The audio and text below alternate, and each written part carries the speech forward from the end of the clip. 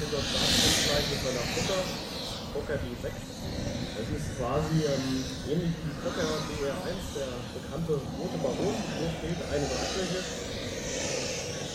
Und auch der startet zusammen, beide Formationen, sehr schön.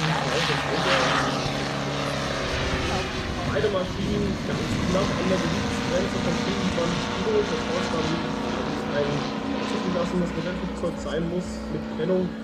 Hier sind wir jetzt also noch in dem freien Bereich. Beide Modelle wiegen ungefähr vollgetankt 24,5 Kilo.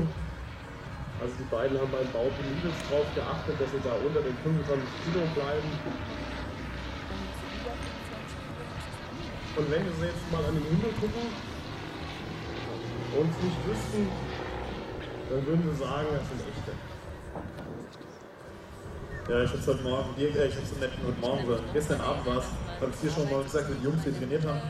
Ähm, ich habe es gestern nicht mal gewusst, dass Modellflugzeuge waren. Wir waren relativ hoch, Jungs, und äh, wirklich ein absolut wunderschönes Flugbild hier. Ja. Ja, das ist halt wie immer. Kommt halt doch auf die Größe an.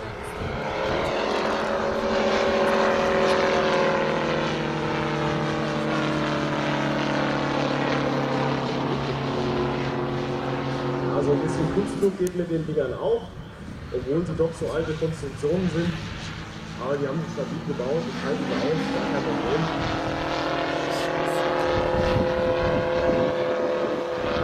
Da haben wir den Chairman mal ganz deutlich, weil der schießt jetzt das sichere Modell.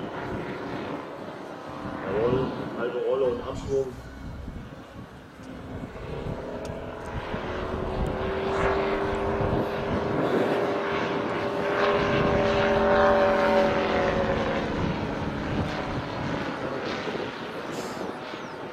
Ja, nicht nur, dass die beiden hier Kunstflug mit den Modellen machen, nein, sie machen auch noch Formationskunstflug. Das ist ein bisschen dieses extrem schwierig.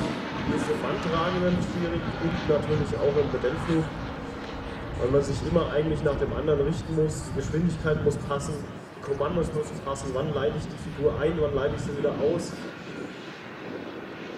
Und hier haben wir noch die Schwierigkeit, dass es noch nicht mal identische Modelle sind. Also es sind zwei komplett verschiedene Flugzeuge.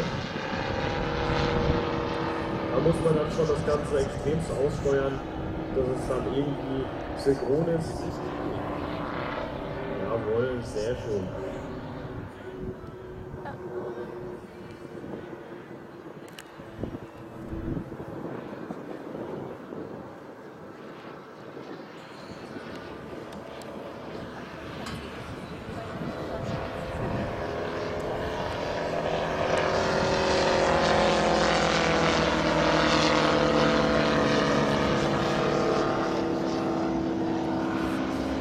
Zur linken Foto Stieglitz, dahinter dann die Fokker D6. Wunderschöne Modellflugzeuge. Sie müssen sich wirklich nachher mal am Stand von den Modellfliegern im Nahen angucken. Detaillösungen par excellence an den Fliegern. Modellflieger sind dafür bekannt, dass sie Teil sehr detailverliebt sind. Das sieht man an den Flugzeugen ganz deutlich hier an den beiden. Da sind sogar die Alterungsspuren quasi gefolgt worden und auch Ölspuren vom Motor wurden sozusagen auf das Flugzeug aufgebracht, damit es so aussieht, als wäre es ein Gedächtnis, das gerade erst gebraucht wurde und nicht geputzt wurde.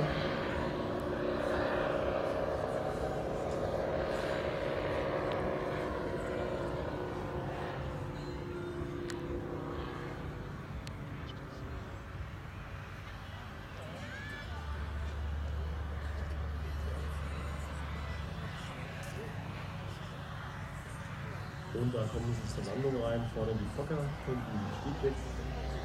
Und jawohl.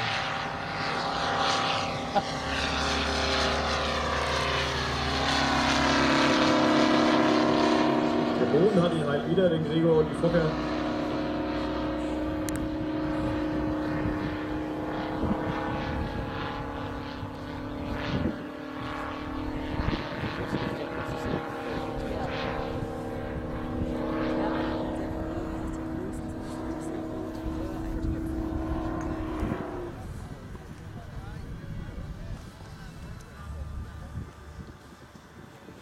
Ein paar Worte zu den Motoren der beiden Maschinen.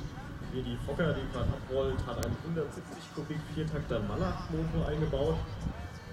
Das sieht zwar so aus, als wäre es ein Sternmotor, es ist aber nur ein Attrappe, dahinter werkelt dann der Bötzermotor. Und beim Stieglitz ist es ein echter Sternmotor mit 210 oder 220 Kubik, glaube ich. Auch ein Viertakter.